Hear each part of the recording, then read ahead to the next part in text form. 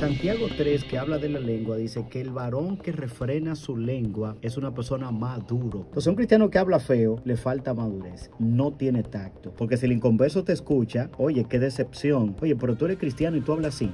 Porque eso es lo que hace muchas personas.